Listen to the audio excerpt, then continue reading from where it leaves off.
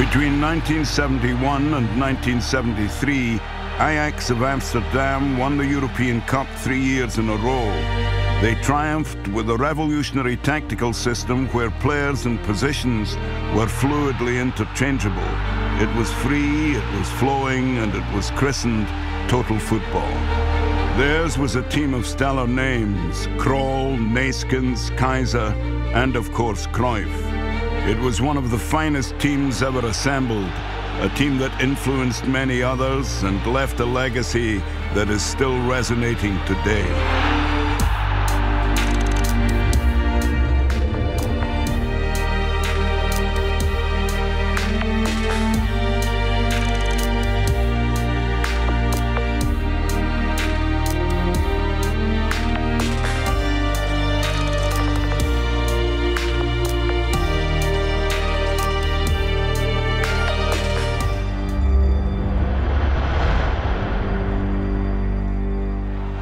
On the 30th of May 1973, Ajax beat Juventus to claim their third successive European Cup.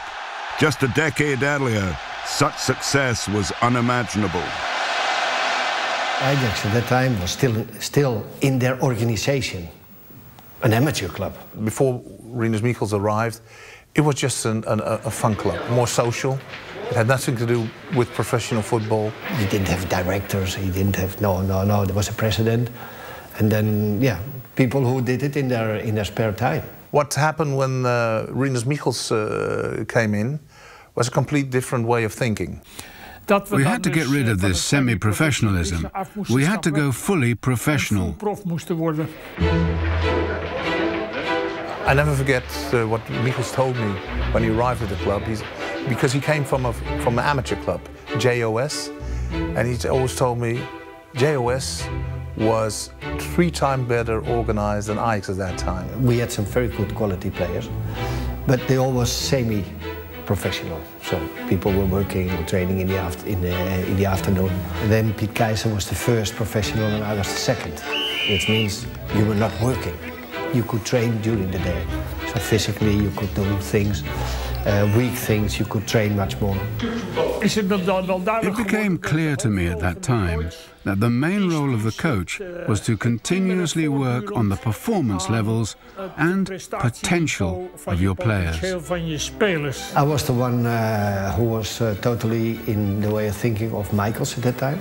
He had the luck that he uh, got the talent of Johan Cruyff, who could bring over his philosophy into the pitch where he has no control.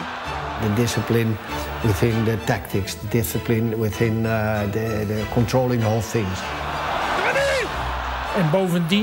In addition, to develop a new playing style, one which flowed from your own ideas of how football should be played. So the ideas of Michels, with the sauce of Cruyff over it, you know, made it all happen.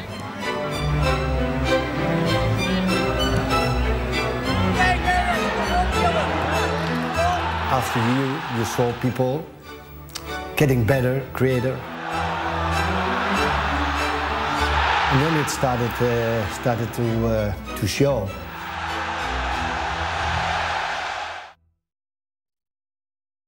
In 1966, Ajax won the league by seven points, but it was in the following season's European Cup that their fame began to spread.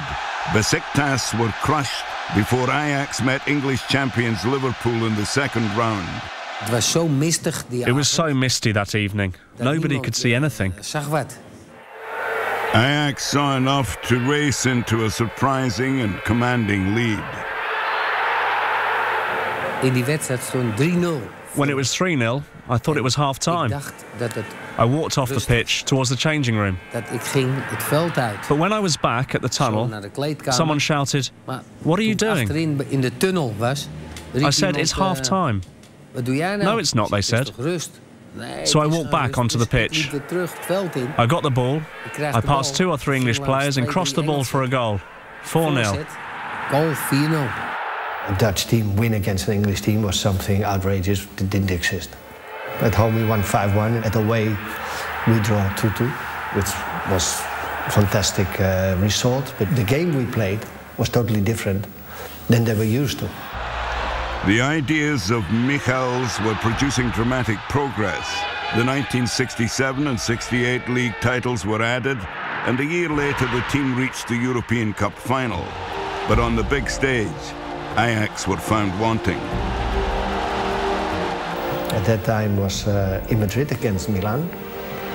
And uh, we lost there, not because we were worse, but the experience was not there. Uh, we made some choices, mistakes, but you have to go through these mistakes, otherwise you could never, uh, you can never understand what it is. You had to learn from it. Milan surged to a 4-1 victory, but lessons had been learned. The following season saw Ajax make minimal changes, though one of these would prove significant the promotion of Ruud Krol to the first 11. We had a good team, with one superstar and five or six world class, or at least European class players. And that's what made us unique. Michels finally had the team he wanted and they were playing the way he wanted. Ajax had developed a new style of football and it would fundamentally influence thinking in the game.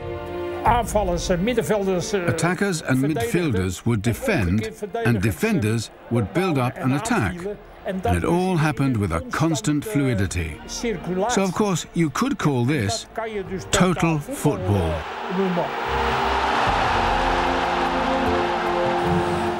We had two fullbacks, Krol and Suurbier. They were really quick. One on one, you had no chance against them. In central defence, we had a Yugoslavian, Vasovic, and Barry Hulshoff, who was 1 metre 90 tall. Any balls into the box, he would win the headers. In midfield, we had Arie Haan, Neeskens and Mühren. And in attack, Keizer, Cruyff and Swart. If you talk with players from that time, they say that Cruyff actually changed the style of playing because you saw that Cruyff was actually more and more searching for uh, a position in the team where he could get less kicks. So he, he some dropped to the midfield, he went to the left side. Actually, Cruyff was the first total football player, just to protect himself. And from that situation, it came like, you know, players took it over. They said, well, if he can do it that way, why can't we do it that way? This new way of playing was impressive, but Ajax wouldn't be the first Dutch team to triumph in the European Cup. Final was not Ajax, but Feyenoord is the first Dutch uh, team that won the European Cup. A team like Ajax became better because of, of, of, of Feyenoord. Feyenoord's 1970 European Cup wins spurred their rivals to excel. And then the great period started in 71. It was the hippie time, it was Woodstock.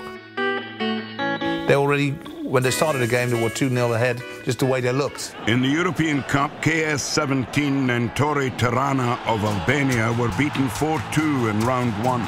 They came in and they, you know, they were not afraid for no one. In round two, Switzerland's Basel were thrashed 5-1. There was no weak point in that team. It was a free spirit time, and it was a free spirit team. In the quarter-finals, Celtic were defeated 3-1. Rock bands like the Beatles and the Stones at that time, they had the discipline to make good music, and they had the discipline to play good football. My quality was a special quality, but if you see the quality of Keizer, was special too. Keizer was on the score sheet in the semi-final against Atletico Madrid as a 1-0 away defeat was turned around spectacularly at home. It was more a team performance where you kept all these quality together to make it as a team. Atletico were dismantled 3-0. Ajax had reached the European Cup final for the second time in three years. The final would be played in London. Ajax faced Greek champions Panathinaikos, but would do so without Ruud Krol, who had broken his leg. Despite this, the Dutchmen remained the favourites, and the weight of expectation was felt by all. Feyenoord had already won the European Cup. I think that result put extra pressure on our club to do well. So there was more pressure on us to get the result. Not just for the coach, but for the players too. After losing in the 1969 final, Ajax were determined not to make the same mistakes, and any lingering doubts were removed after just five minutes, thanks to Dick van Dijk. By half-time, it should have been 3 or 4-0 to Ajax. Under severe pressure, Panathinaikos held out until three minutes from full time, when Arie Haan finally found the crucial second goal. At last, Ajax were European champions. That night was the culmination of many years of hard work. The way the players moved within the team was extraordinary. It was a joyous moment, but the celebrations were tempered by the news that this would be Michels' final game as Ajax coach. By winning on Wembley, uh, the first uh, European Cup against the Panathinaikos, I think re Michels realized, okay, you know, this, the climax has, I have reached a climb with the team.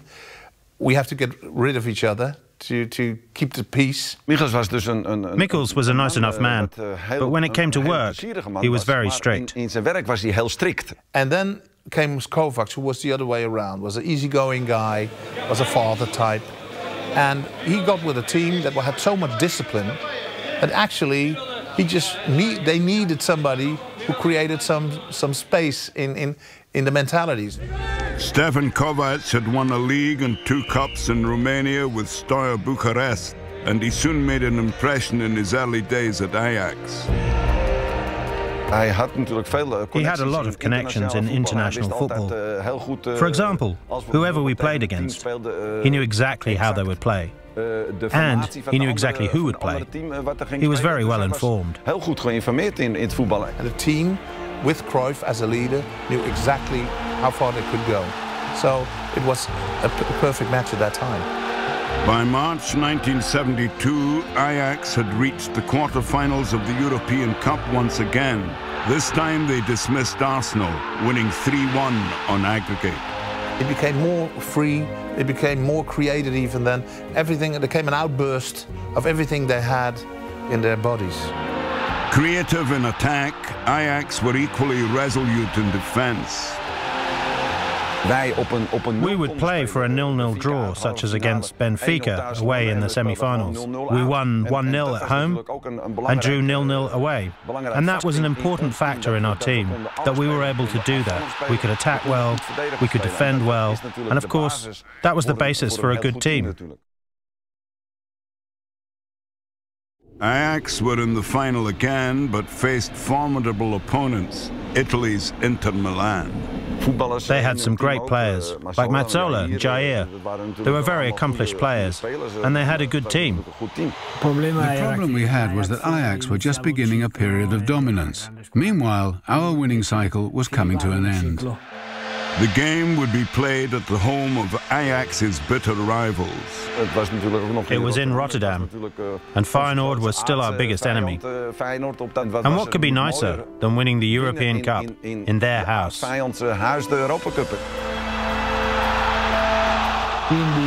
Physically, they were very strong. Normally, players who are very strong physically don't have great feet. They run a lot, but they make a lot of mistakes. Not Ajax. All of their players had great feet. There were two different styles. We had the initiative in the game, but you could see that Inter, on the counter-attack, were very dangerous.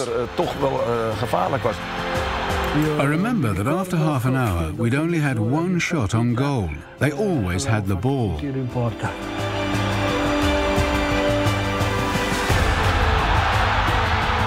It was a style of play that no one had ever seen before. So they surprised us.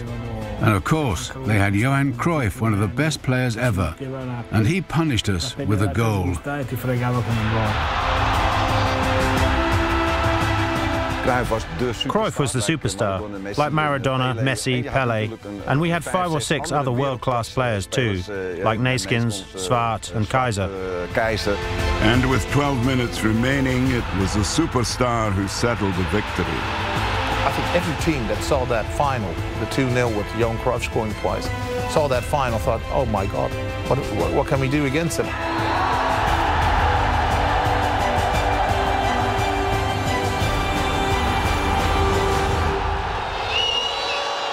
Ajax had ample reason to celebrate. As well as the European Cup, they'd won the league and the domestic cup, an incredible treble that had seen them lose just once in 48 games. And in September of 1972, Ajax became champions of the world.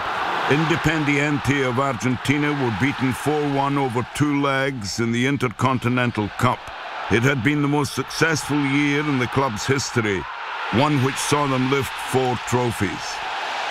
1973 was begun imperiously as Ajax swept aside Cup Winners' Cup champions Rangers in what became known as the Super Cup. And in March, they met Bayern Munich in the European Cup quarter-finals. In those years, Ajax was simply outstanding. They had some great players. Ajax were a strong team, whereas we were just developing. Uh, we were in a transitional period and bringing in young players like Paul Breitner and Uli Hoeneß. The Ajax team had remained largely unchanged. The young striker Johnny Rep was in the side against Bayern. The first half saw the Dutchman struggle to break through. Patience was required. Of course, we were waiting for the first goal, and it came at a good moment for us. Arie Haan gave Ajax the lead eight minutes into the second half. The German defence crumbled.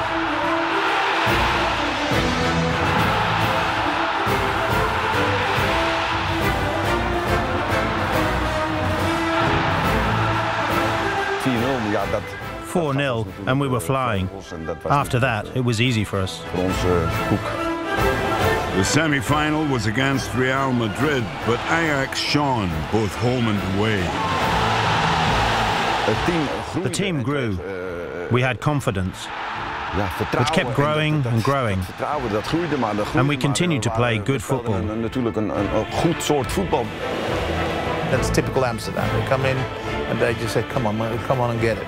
That's the way they, their attitude when they were on the pitch. A 3-1 aggregate win and a third consecutive European Cup final. This time the opponents were Juventus.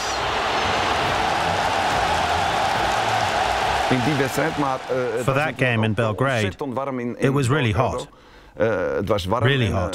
The climate didn't suit us at all. But despite the heat, Ajax scored after just five minutes. It was an early goal. Blankenburg crossed for Johnny Rep. We scored very early in the game. We played to protect our lead, rather than trying to score more goals. Perhaps that was our error, to play that way in that game.